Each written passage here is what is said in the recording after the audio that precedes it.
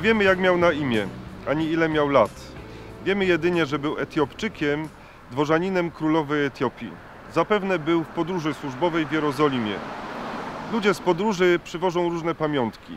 On zdecydował się na to, żeby w Jerozolimie kupić zwój z księgą proroka Izajasza. Dziwna pamiątka. Dlaczego akurat taka?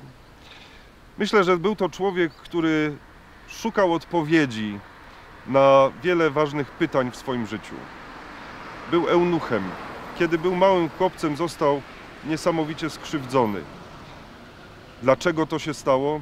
Dlaczego akurat ja? Dlaczego w moim życiu potoczyło się tak, a nie inaczej? Chociaż jestem bogaty, jestem dworzaninem, jestem człowiekiem cenionym przez moją królową, to jednak ta wielka krzywda w moim życiu. Ludzie w drodze. Tak jak on w drodze z Jerozolimy do Gazy, tak ludzie dzisiaj znajdują się w drodze. Pasażerowie i kierowcy zadają sobie często po drodze ważne, istotne pytania dotyczące swojego życia. Może to ty jesteś teraz w drodze. Zadajesz sobie pytanie, dlaczego w moim życiu ułożyło się tak, a nie inaczej.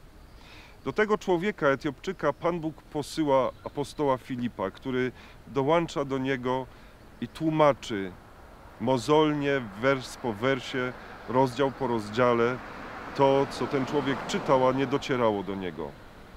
Dzisiaj Pan Bóg posyła Cię, abyś poszedł na drogi tego świata i opowiedział ludziom o tym, kim dla Ciebie jest Jezus Chrystus. Albo abyś poszedł do kościoła, poszedł do społeczności wierzących i tam szukał odpowiedzi na pytanie o to, kim jest Jezus. Bo odpowiedzią na wszystkie pytania, które kłębią się w Twoim sercu, w Twojej głowie, w Twoim sumieniu, jest właśnie On, Jezus Chrystus. Tak jak uczynił to apostoł Filip dla tego człowieka, dla Etiopczyka, tak odpowiedzią na Twoje pytania jest Jezus.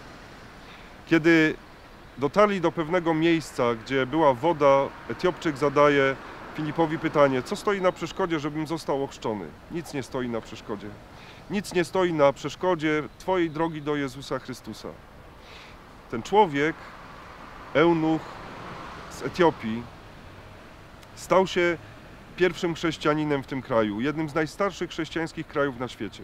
Paradoksalnie człowiek, który nie mógł zostać ojcem, został ojcem Kościoła Etiopii. Pan Bóg jest Bogiem paradoksów. Pan Bóg jest Bogiem, który kieruje nasze drogi zupełnie inaczej niż my sobie to wyobrażamy. A więc nie bój się iść naprzód, drogą paradoksów, drogą wiary. Życzę błogosławionego przeżywania Twojej wiary.